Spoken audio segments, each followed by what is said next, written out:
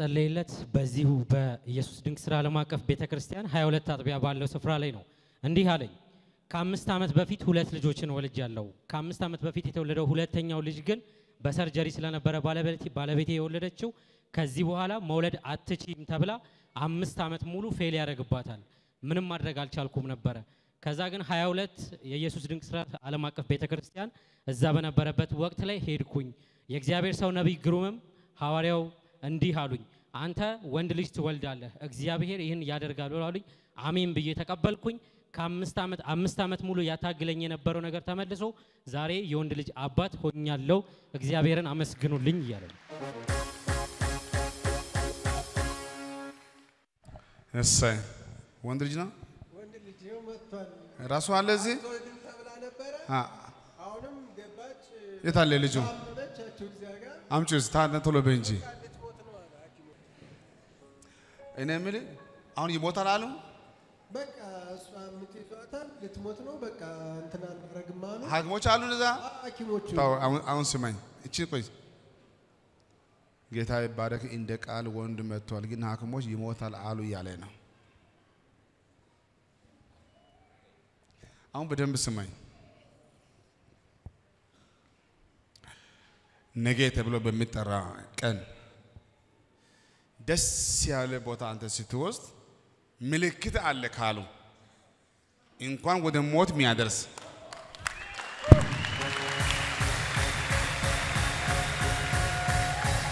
እናንተ የእግዚአብሔር ሰዎች፣ እኔ ዛሬ አዲስ አበባ አጥቢያ ነው የማገለግለው፣ ነገም እዚህ ነው የማገለግለው።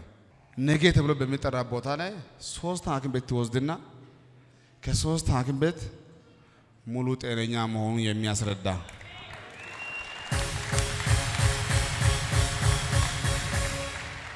ልጁ ሲወለድን ከዚህ በኋላ እሷ አትወልድም እያሉ ነው የተወለደው። አሁን አይቻልም እያለ አይደለም። ሰላም በላይ በደምብ ጫና አድርግ፣ እጄን እጄን ጫና አድርግ፣ ጫና አድርግ።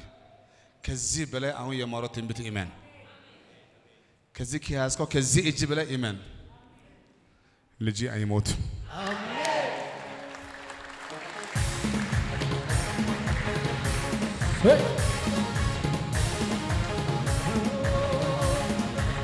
አምላኬ ደስታዬ ደስታዬ ነህ ኢየሱሴ ሙላቴ እርካታዬ ነህ አምላኬ ደስታዬ ደስታዬ ነህ ኢየሱሴ ሙላቴ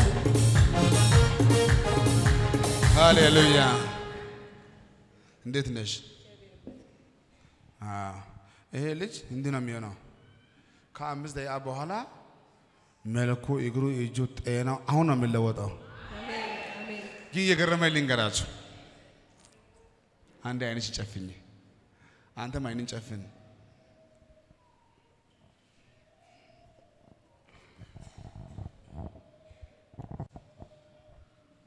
አልዋሽም። ግን በዛሬ ቀን ባልጸልይ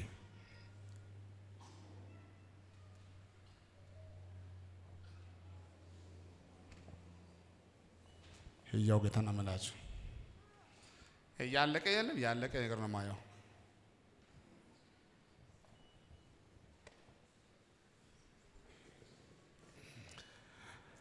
እሰይ አይንሽን ግለጭ። እንኳን ደስ አለሽ። አይኔን ግለጥ። እንኳን ደስ አለ። አሁን በምን ላይ ነው አንተ ያለበት? መሬቱን የሚፈልጉ አሉ፣ አንተን ፈልጉ አሉ። ለምን? በቃ ለማጥፋት፣ ለማጥፋት ለመግደል። አትሞት። አሜን።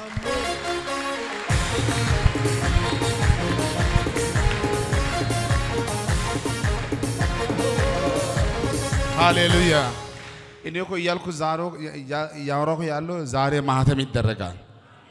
ሰይጣን በቆፈረው ጉድጓድ አንተ አትገባም። ሂድ፣ ረዥም ዓመት ኑር። ዝም ብለህ ውለት፣ ዝም ብለህ ስፋ፣ ሂድ ኑር። አሜን።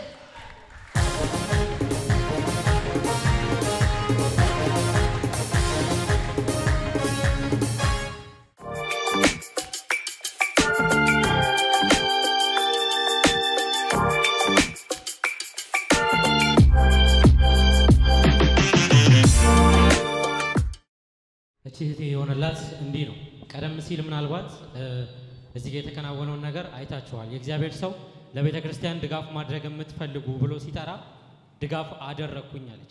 ከዛ ቀደም ብሎ ግን አምስት ዓመት ሙሉ ወደ አረብ ሀገር ሄጄ ስራ መስራት ፈልግ ነበረ። አምስት ዓመት ሙሉ ስሞክር ግን አምስት ዓመት ሙሉ ነገሮች በሙሉ ዝግ ናቸው። የምትፈልጉት ነገር በሙሉ ይመለሳል ብሎ ሲል ያለኝን አውጥቼ ሰጠሁኝ። አሜን ብዬ ሄድኩኝ። ከዛ በኋላ ያ አምስት ዓመት ሙሉ ያታገለኝ ነገር ስልክ ተደውሎ ነይ አልቆልሻል ተባልኩኝ። አሁን ነገ ልሄድ ነው ልወጣ ነው እያለች እግዚአብሔርን አመስግኑልኝ። እቺ እህት የምትለኝ እንዲህ ነው። ሀያ ሁለት አጥቢያ በነበረበት ሰዓት ላይ ልጅ መውለድ የምትፈልጉ ሲባል ተነሳሁ። ከዛ በኋላ ተጸለይልኝ። ግንቦት ሀያ ሁለት ላይ ነበር የተጸለይልኝ። የዛኑ ቀን አሜን ብዬ ተቀበልኩኝ። እግዚአብሔር ልጅ ይሰጥሻል ተባልኩኝ። አሜን አልኩ። ይኸው አሁን ልጄን ታቅፌ መጥቻለሁ። እግዚአብሔርን አመስግኑልኝ ደግሞ ያምራል።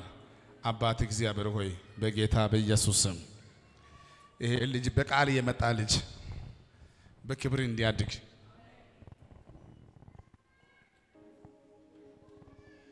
በጌታ በኢየሱስ ስም አምጪ እጅሽን።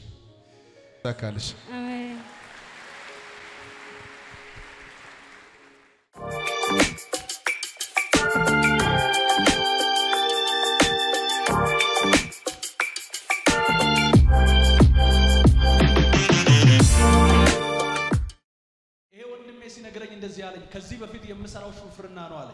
ለረጅም ጊዜ ሹፍርና እየሰራው ከአስር ዓመት በላይ በረከት በህይወቴ ውስጥ የለም አለ። ሁለተኛ ደግሞ የቆዳ ካንሰር ታማሚ ነበርኩ አለኝ። ሙሉ ጭንቅላቴ ይቆስላል፣ ፊቴ ይቆስላል፣ እጆቼ ይቆስላሉ፣ እግሬ ይቆስላል። ለረጅም ዘመን ሰቃይ ነበር አለኝ። አንድ ጊዜ በምሪት ወደ እግዚአብሔር ሰው ጋር የገስታውስን አገልግሎት ለመካፈል ገባሁኝ። የእግዚአብሔር ሰው በመንፈስ ሆኖ ሲጸልልኝ እንደዚህ አለኝ።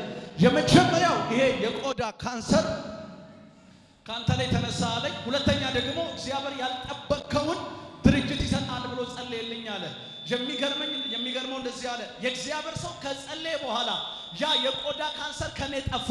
ፊቴ ላይ የነበረ ጭንቅላቴ ላይ የነበረ ቁስል ተራገፈ። አብራችሁን ጌታን አመስግኑ ይላል። በጭብጨባ ጌታን አመስግኑለት። ያ ብቻም አይደለም፣ ካንሰሩ ብቻ አይደለም። ሁለተኛ እንደዚህ አለኝ፣ ኪሴም ላይ አጋንንት ነበር አለ። በረከት የሚባል በህይወቴ ውስጥ የለም። የእግዚአብሔር ሰው ከጸለየልኝ በኋላ ግን ምንም ሳይኖረኝ በባዶ ድርጅት ይኖርሃል ብሎኝ ነበረ። አሁን ጌታ ይባረክ። የልብስ የልብስ መሸጫ ቦታዎች፣ ትላልቅ ድርጅቶች እግዚአብሔር ሰጥቶኛል። አዲስ አበባዎች አብራችሁን ጌታ አመስግኑ ይላል። አመስግኑለት። እና ወደዚህ እሰይ ቀኛችሁ ከፍ አድርጉልኝ። እንዲህ ይሆናል።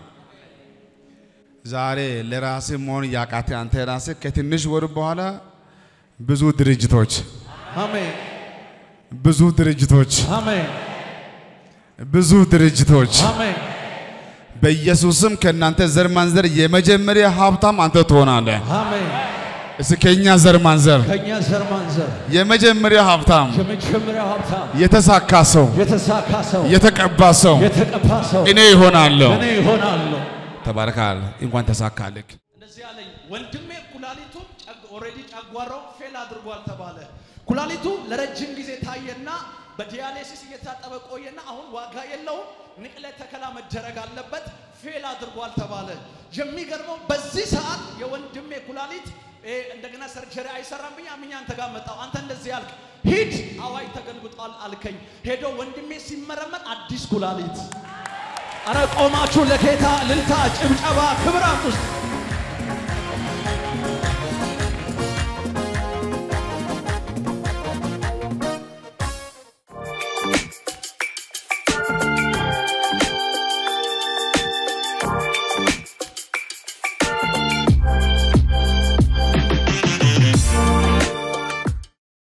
ወንድሜ እንደዚህ ያለኝ የኔ የአክስቴ ልጅ ወደ አረብ ሀገር ከሄደች በኋላ ስትመረመር ደሟን ሰታ ስትመረመር ኤች አይቪ ኤድስ በሽተኛ ታማሚ ነሽ ተባለች። ፈራች፣ ደነገጠች። የሚገርመው እንደዚህ አለችኝ፣ ቀጥታ ፈጥና ወደ ሐዋርያው ጋር guest house ግባ የእግዚአብሔር ሰው በጌታ ምሪት እንደዚህ አለ፣ አዋጁ ተገልብጧል፣ ሄዳ ትመርመር አለ። እዛው ባለችበት በሰው ሀገር ሄዳ ስትመረመር ነፃ ነሽ፣ ኤች አይቪ የለብሽም። አረ አዲስ አበባ ያልቀለለበት ጌታን ይባርካል። እስቲ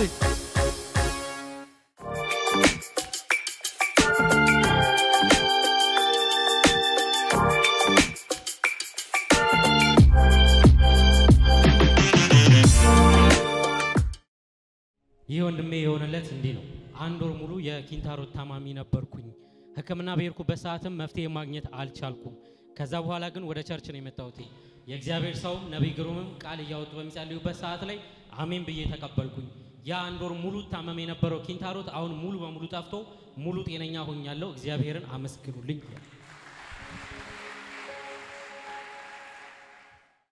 ይህ አባት የሆነለት አራት ነገር የሆነለት ደግሞ guest house ገብቶ ነው።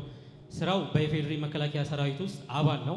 እናም የሆነልኝ እንዲህ ነው አለ። ገስታውስ በገባሁበት ሰዓት ላይ አራት ነገሮችን ጽፌያለሁ። የመጀመሪያው ነገር የአድራሻ ለውጥ እንዲሆንልኝ ብዬ ጽፌያለሁ። ሁለተኛው ደግሞ አንድ ምንም በማያውቀው ነገር የታሰረ ጓደኛ ነበረኝ፣ እሱ እንዲፈታ ብዬ ጽፌያለሁኝ።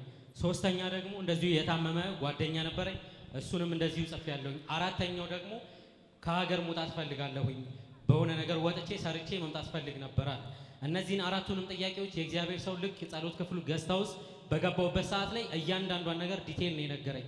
ከዛ በኋላ ግን አራቱም ተፈጽሞ ዛሬ እግዚአብሔር ይመስገን ወደ ውጭ ወጥቼ ስራዬን ተልኮይን ጨርሼ አጠናቅቄ ለምስጋና መጥቻለሁ። ለዚህም ደግሞ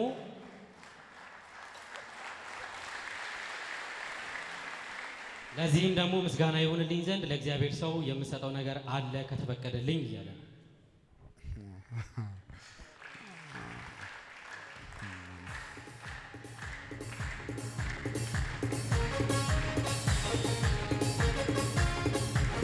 እልልታ ጭብጨባ ለጌታ ይገባው። ሃሌሉያ በበረሃ ጋሻ የተጠማ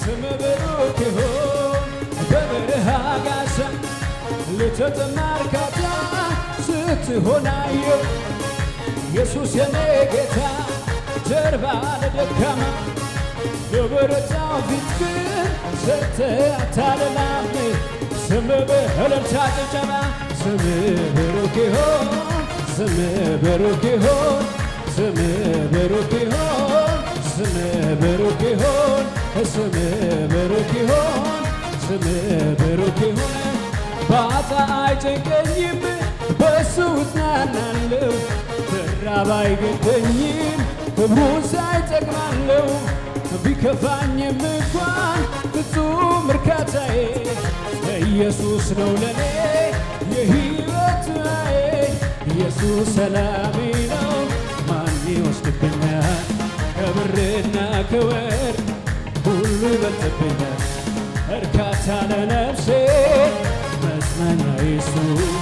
ድጋፌ ምርኩሴ ጋሻዬ ነው እሱ ጋሻዬ ነው እሱ ጋሻዬ ነው እሱ ጋሻዬ ነው እሱ ጋሻዬ ነው እሱ አሜን። ጌታ መልካም ነው። ይህን ደግሞ ለሃንቾ ይዤ መጣ ነው ያለኝ።